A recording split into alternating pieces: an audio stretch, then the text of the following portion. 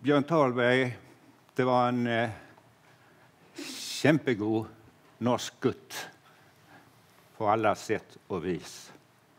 Eh, han var ju uppvuxen i eh, Oslo och kom att studera där. Så hela ens inspiration, utgångsläge var ju den här Osloskolan. Eh, ni ser årtalen här för när han föddes och dog och han var professor i Lund 68 till 90 och ordförande i Arnes Rydes stiftelse. Från stiftelsens grundande 1971 till att han avgick 2001. Så såg han ut. En mycket trevlig och behaglig person på alla sätt och vis. Det är den bästa sliden här. Jag låter den ligga kvar. Eh, hans lärare och inspiratörer var ju såklart då den här stora giganten i nordisk ekonomi, Ragnar Frisch. Frisch hade disputerat på 20-talet i matematisk statistik och matematik. Och han skapade då det socialekonomiska institut i Oslo i början av 30-talet. Och där anslöt sig sen eh, kände ekonomen Tryggve Hovelmo också. Och de skapade väl gemensamt då den här så kallade Oslo-traditionen då med eh, eh, ska vi säga, matematisk inriktning på, på eh, ekonomiska fenomen och sammankopplingen mellan matematik, statistik och empiri. empiri. Så Ragnar Frisch tillskrivs ibland eh, att han skapade namnet ekonometri, men det, han var i alla fall med och drev fram namnet ekonometri som en stor grej. Va? Och det har ju våldsamt inflytande på all vår forskning nu för tiden. Eh, så där gick eh, eh Björn i lära.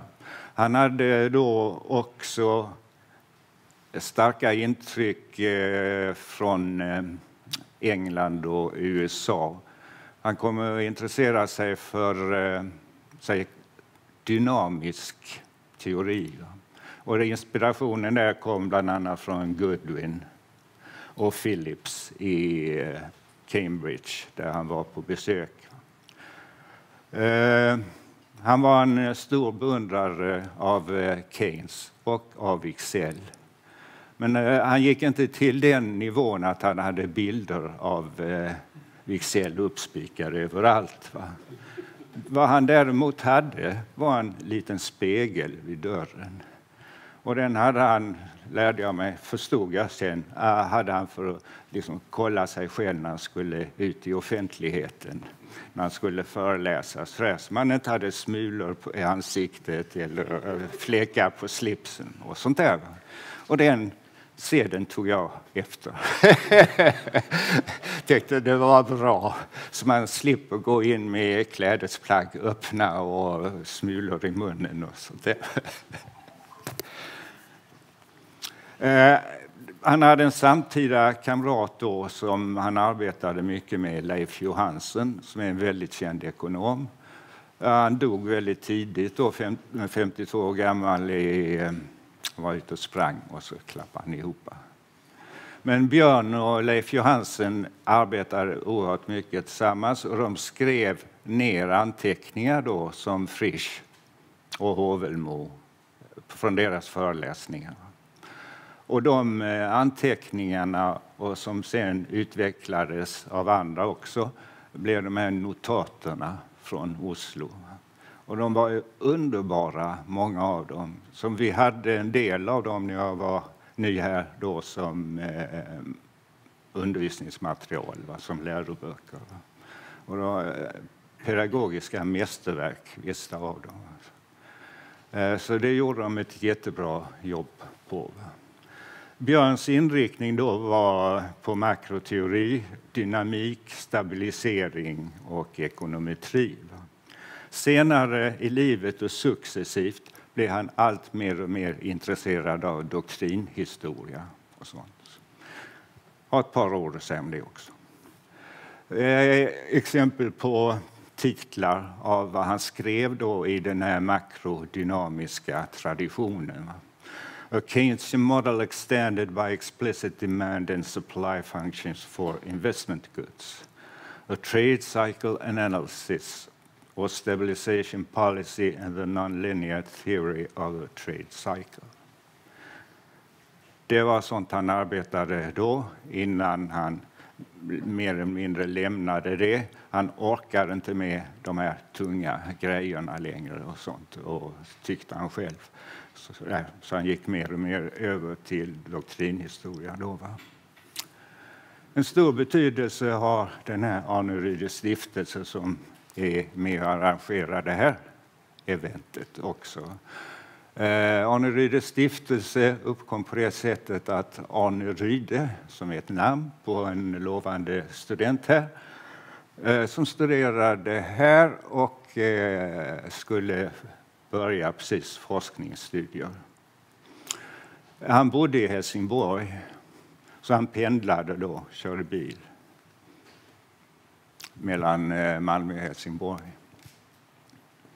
När han skulle läsa då varje tre, fyra betyg så hade han eh, två val. Hoppla. Eh, det ena valet är att man startar en kurs i september och så läser man hösten och våren och tentar i maj på alltihopa. Andra alternativet var att starta i september, tenta i december, en sån kortare kurs, en terminskurs och sen en kurs till. Ja, eftersom han var, Arne Rydde var så motiverad och ville vidare och skulle forska så valde han det här långa alternativet.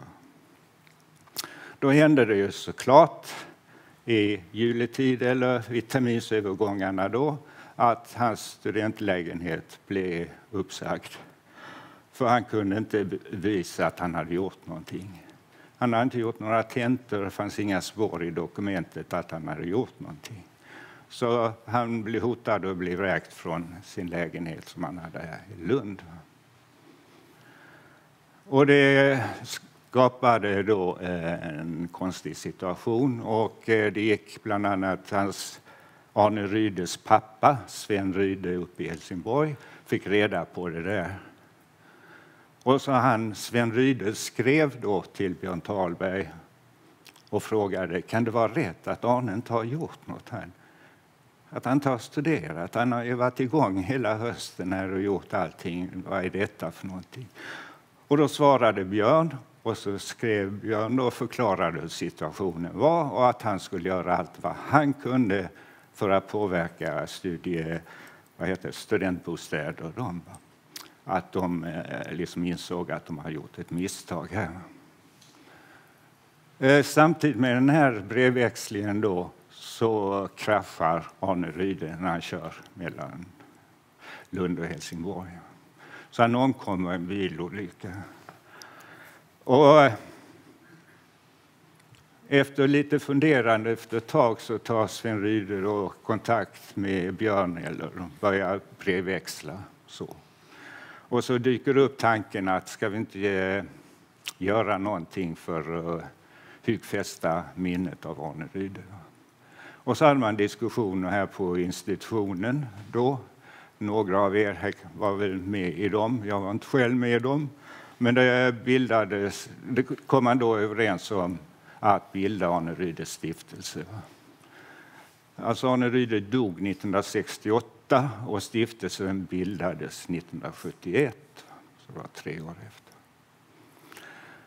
Och det gjorde man och då bildade man en stiftelse där och det var Sven Ryde som tillsköt pengar, pengar som han hade fått av det skälet att han hade varit apotekare, haft apotek och sålt apoteken nu och så hade han fått pengar för det.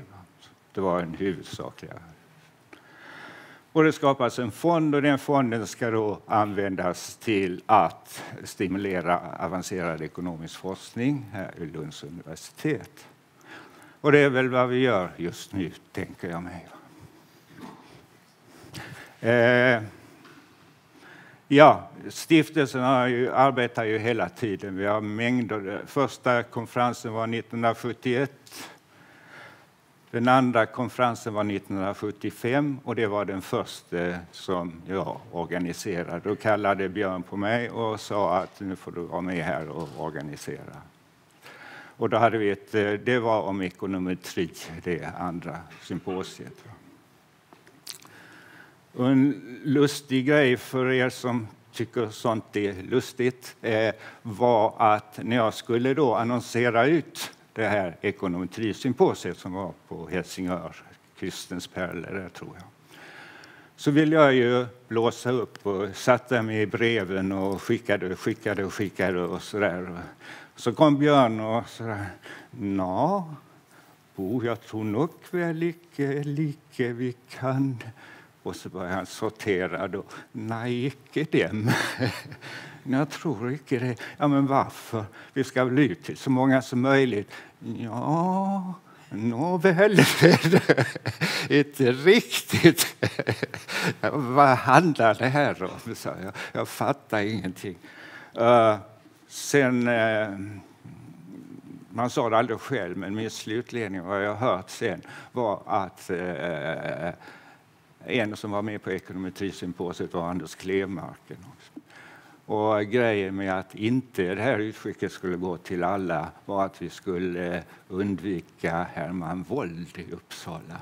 För han bara varenda eh, gång så förstörde han. Han bara satt där och drev alla frågor till den fråga han ville diskutera och allting annat var way out. Så det var en sån grej. Och det är lite lustigt. Eh, internationellt så sa jag att... Hörs jag fortfarande? Ja. Internationellt så var han i Yales och på Carls. Calls heter det. Eh, och där träffade han ju bland annat James eh, Tobin. Och i Cambridge där var ju Phillips och Goodwin som han hade mycket samarbete. Senare i livet så hade han samarbete med Japan också. En kille som heter Hashimoto. Alltså, ska jag mig? Okay. Uh, eh, Hashimoto, han var, skrev om Wicksell. Han forskade i varenda detalj som Wicksell hade gjort. Varenda tvättnota, varenda kvitto som fanns i hela Norden. Och sen så var Björn nere i Tanzania och arbetade där lite också. Och han var en stor idrottsman. Hans skidåkning på vintern och hytte i Norge var stora saker för honom. Han spelade tennis med Bengt Höglund så varje fredag eftermiddag och måndag och fredag eftermiddag var slutna tider. Det var tennistider för de två. Det var, kunde man inte komma. Han var en mycket stor personlighet. Han var alltid vänlig och hjälpsam mot alla, alltid. Han var envis till tusen. Hade man världens bästa, mest övertygande argument, sa de två gånger så hjälpte inte det. Han slutar ändå med Nabo, jag tror likväl icke. Ah, tänk man, inte en gång till. Så var det slut.